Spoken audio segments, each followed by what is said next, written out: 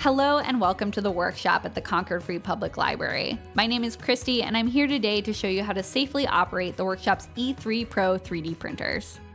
Is this the right 3D printer for you? The workshop offers two models of 3D printers, the Robo E4 and the Robo E3 Pro we think that the setup process on our E4s is a little bit simpler, and they also have a significantly faster maximum print speed than the E3 Pro machine. This makes them a great fit for first-time 3D printer users. But if you're hoping to work on a larger project, you may want to use one of our E3 Pro machines, which have a much larger maximum print volume.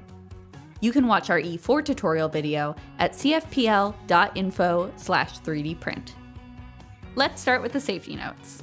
The metal nozzles on 3D printers called extruders can reach temperatures of up to nearly 600 degrees Fahrenheit.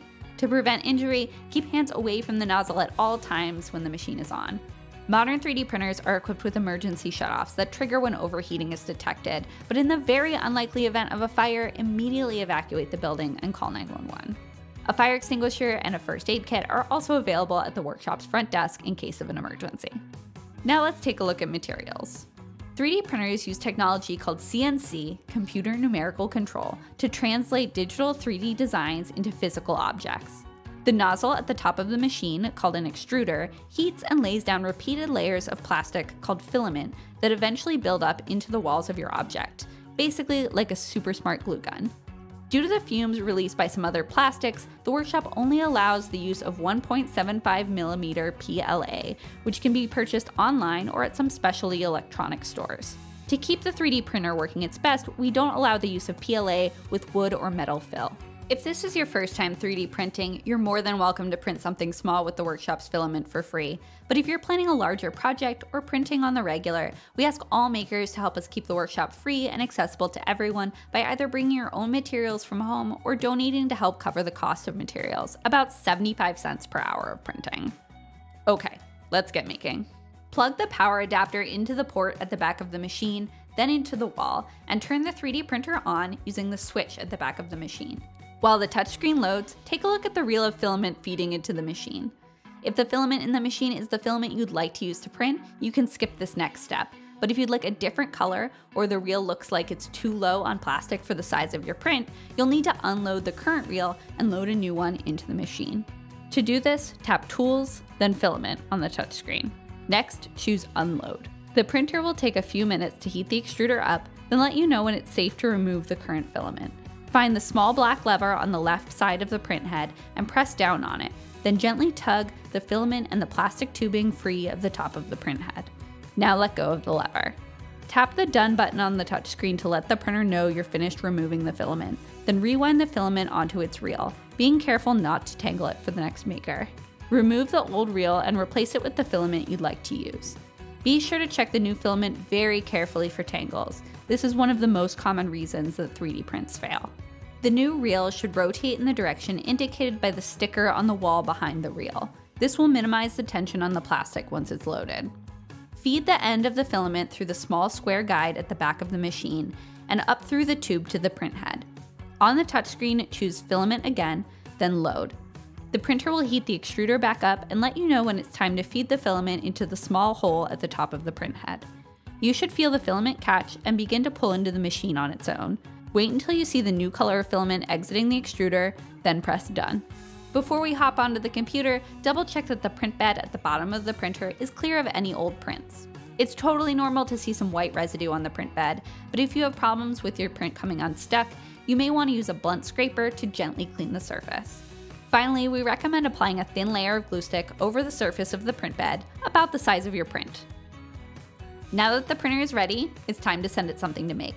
You can design your own 3D model in CAD software like Tinkercad or choose from huge libraries of free files on websites like Thingiverse. Just be sure to download them as STL files. When choosing a design, keep in mind that the 3D printer will print from the bottom of the model to the top of the model. This means that in general, objects that are bottom heavy and don't have overhanging parts of 45 degrees or greater tend to be significantly easier to print than top heavy objects or those with parts that stick out into space. But we'll talk about some potential workarounds for this in a few minutes. Also keep in mind that the workshop is a public space, so models should be appropriate to be viewed by makers of all ages. The production of weapons using the workshop's equipment is also prohibited, and staff may halt, delete, or disallow the use of a model at any time. Once you've chosen a model, it needs to be translated into a set of instructions for the printer to follow. To do this, we'll use a type of software called a slicer.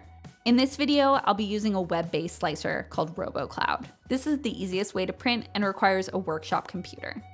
If you're a more experienced 3D printer user and would like greater control over your print settings, or if you'd prefer to use your own personal computer, you may want to use the desktop software RoboPrint to slice and print your model via a USB device. RoboPrint is installed on all workshop computers and available for free on the manufacturer's website at robo3d.com. Keep in mind that printing via USB works a bit differently than the cloud printing I'll be demonstrating in this video, so you may need to do some additional reading on the manufacturer's support site before attempting that method. If you're following along with me, navigate to cloud.robo3d.com and sign into the workshop shared 3D printing account.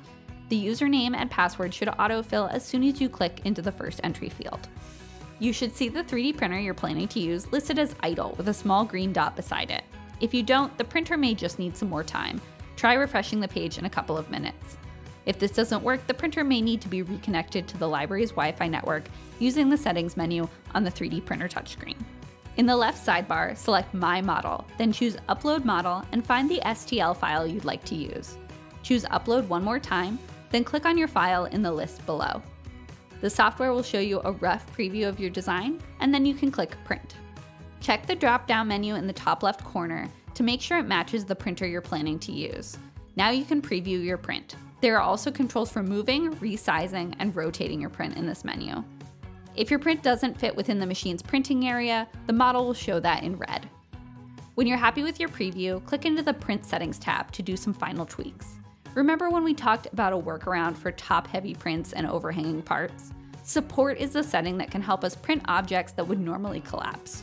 If you select Enable under Support, the computer will generate scrap plastic scaffolding under any problem areas to help your model keep its shape as it prints. But do keep in mind that this scaffolding will consume additional filament, take extra time to print, and must be manually cut or filed away from your final project after you finish printing. Next, you can choose whether or not to print your object on a raft, an auto-generated scrap plastic sheet a bit larger than the base of your model that helps keep your object adhered to the print bed. These are usually much easier to remove than supports and can save a lot of tricky prints, so in general, we strongly recommend enabling a raft. The quality setting determines the thickness of the layers in your print. Thin layers produce a smoother, higher quality print, but they take much longer.